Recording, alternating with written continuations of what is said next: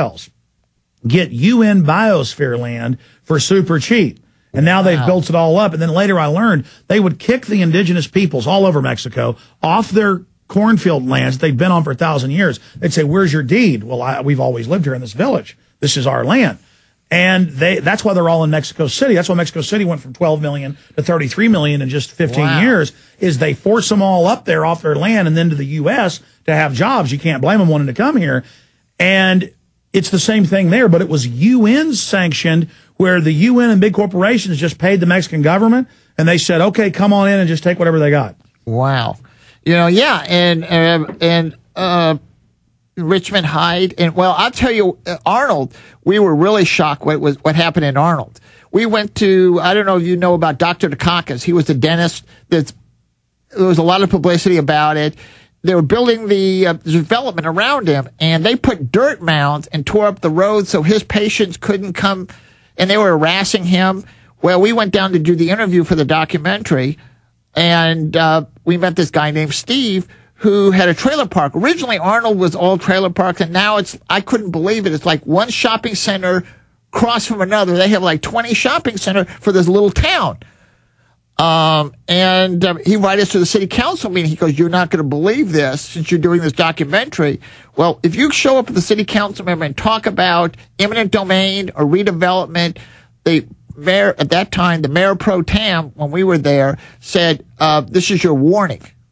Um, you're out of order." Oh, that's all over the country that you're arrested. Th- They say there's no free speech. We, uh, no, I've seen it a million times, but no, I didn't know about this case. Yeah, and they basically dragged him out of the meeting.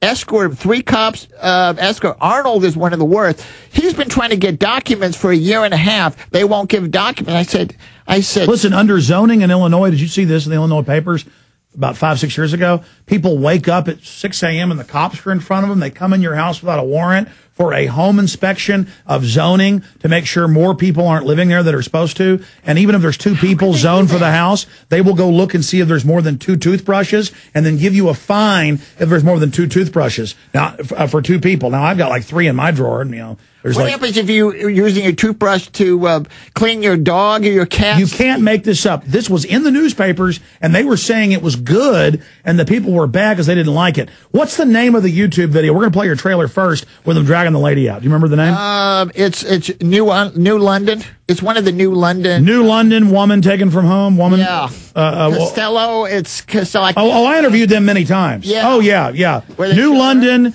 uh, Connecticut, uh, Costello family. Yeah, and they show her dragging her out of the house, and it's probably one of the most shocking YouTubes I've ever seen. We're going to find that before you go, but right now, let's play the trailer to Begging for Billionaires. Not enough for these pigs to, and they are pigs, uh, to run our lives. They've got to have it all. They've got to have it now. Uh, here it is.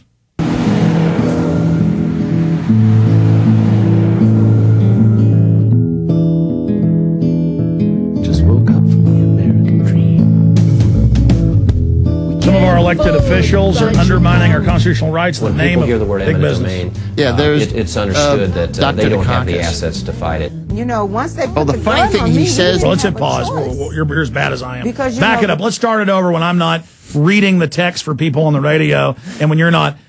You know what? I'm sorry. You thought we were off air. I'm. I'm. I was. I was reading the subtitles here. Let's let's start it over. I want folks to see this watching on PrisonPlanet.tv and listening on the radio. Here it is.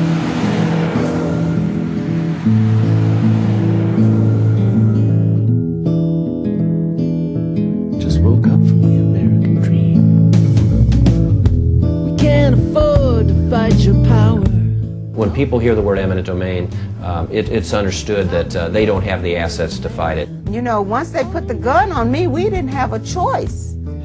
Because, you know, the law is on their side, not our side.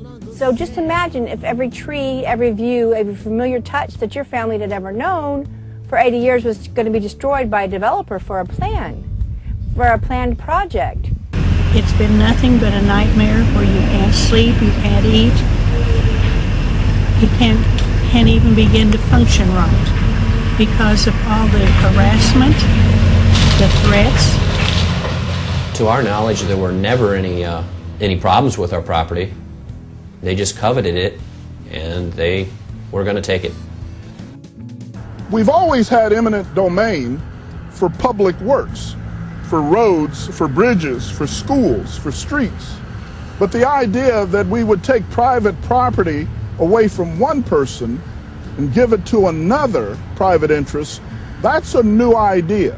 Those that have power, those that have the ability to influence what happens in City Hall are the ones that are going to profit from it. That is exactly what our founding fathers were trying to prevent when the Fifth Amendment to the Constitution was added to the Bill of Rights. You, you simply couldn't stop it. We couldn't stop it. And it didn't matter how um, beneficial and substantial and established uh, our, our, our presence was, we could not stop it. Take what's ours and make it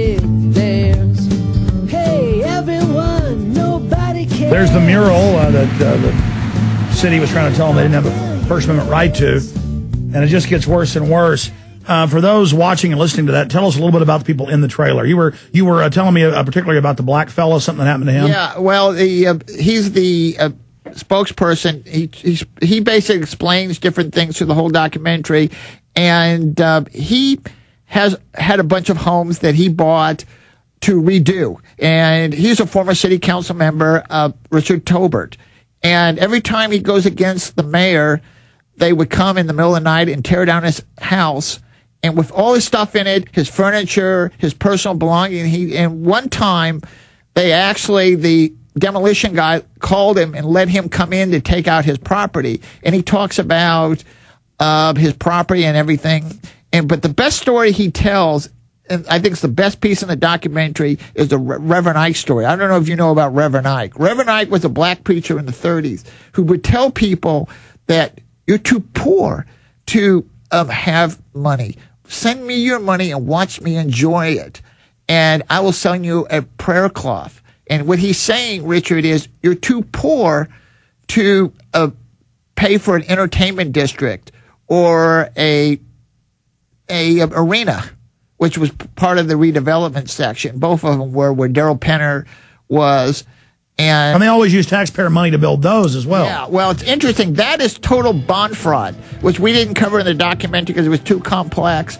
But basically, it's a Ponzi scheme with the city because those bonds never get paid off. I'll tell you what, stay there. Final segment. We got to have you back. Uh, when we come back, let's uh, tell folks about some of the bond fraud and more about the film Begging for Billionaires The Attack on private property rights in America. You see, folks, they're attacking the Second Amendment, Fifth, Tenth. Everything's being attacked. We'll be right back.